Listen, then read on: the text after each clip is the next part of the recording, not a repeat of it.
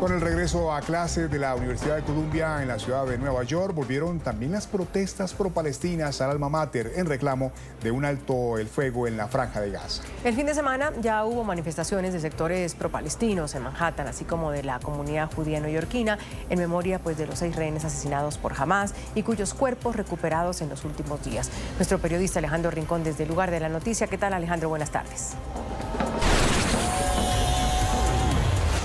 Andrea Hugo, qué gusto saludarlos. Una buena tarde a todos quienes nos acompañan a esta altura de la jornada en la que nos conectamos con ustedes desde el área de la Universidad de Columbia, específicamente frente a la escuela de Barnard, que es a esta altura de la jornada el epicentro de una nueva concentración de la comunidad estudiantil universitaria pro-palestina. Justo en este momento están adelantando arengas, concentración específicamente dedicada pues a hacer una nueva ola de estas protestas que el pasado mes de abril pues será noticia, no solo a través de los Estados Unidos, sino también eh, de todo el mundo. La medida, eh, la Universidad de Columbia fue pues el epicentro de origen de las protestas eh, universitarias pro-palestinas, las más fuertes pues que se hayan dado en el transcurso de las últimas décadas. La escena que tienen ustedes ahora en sus pantallas es de hecho la continuidad de lo que ya el pasado fin de semana eran una serie de acciones de protesta por una parte de la comunidad judía neoyorquina que luego de la recuperación de los seis cuerpos de las víctimas que fueron asesinadas vilmente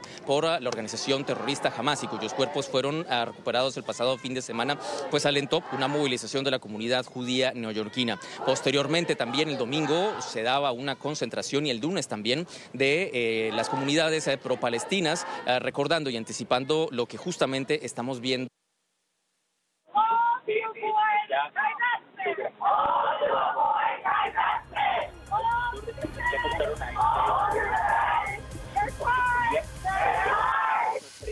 Bueno, la